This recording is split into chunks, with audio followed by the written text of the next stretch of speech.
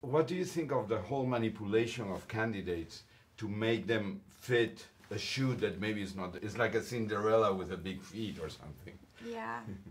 well, unfortunately, you know, part of part of what the film is really highlighting is that in order to uh, be elected, you have to win, and uh, you know, I think that some people want to win at all costs, um, and and that's part of what Sandra Bullock's character is realizing over the course of the film is like the you know it, it, should Not you about winning? Yeah. yeah Yeah. In, uh, I, th- I found your character very funny because uh, he does things that are a little out of it, no? Yeah, No? Uh, He's not the typical conventional No, no, no. political consultant. He, he's definitely sort of a fish out of water. I mean, he's an ad, advertising marketing guy, so you know when he gets down there, he's kind of like, "Oh, this is going to be a walk in the park," and I think all the elements that are thrown at him th- through being in Bolivia is kind of like, "Wow, I, I, this is not as easy as I thought it was." But you know, and I, he's constantly struggling too to keep up with Sandra's character. And uh, your Spanish in the movie is fantastic. thank you. Was it phonetic o hablas un poco?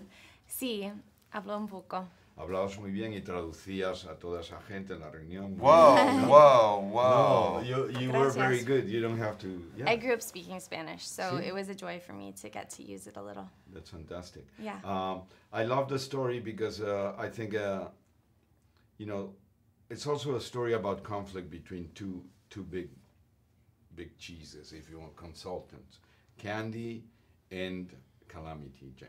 Mm-hmm. So it's a personal battle, do you think?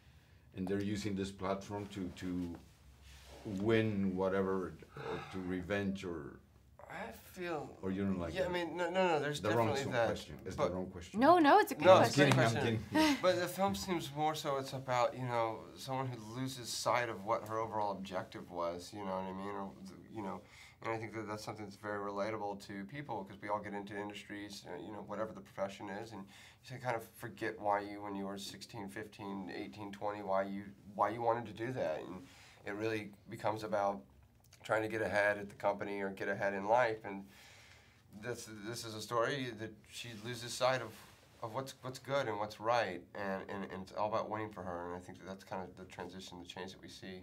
Yeah. You see, the, this country and many others are going to serious elections soon, and there are the Republicans and the Democrats.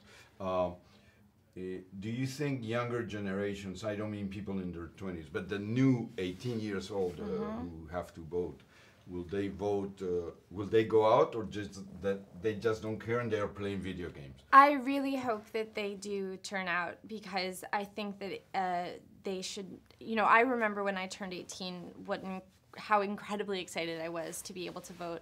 Um, I hadn't been able to vote in the uh, first Bush election, so to be able to cast my vote in the second one felt really important to me. Um, and I think you know not to cast any aspersions on older people, but I'm constantly actually amazed by the incredible open-mindedness of the generations that are coming up. I just worked with a 14-year-old on this movie and this other movie, and she was telling me uh, uh, the way that her generation thinks about gender and about sexuality, and it's so exciting to me to think about a world in which. Um, People are really looking at their peers as equals, um, so I hope that they make their voices heard.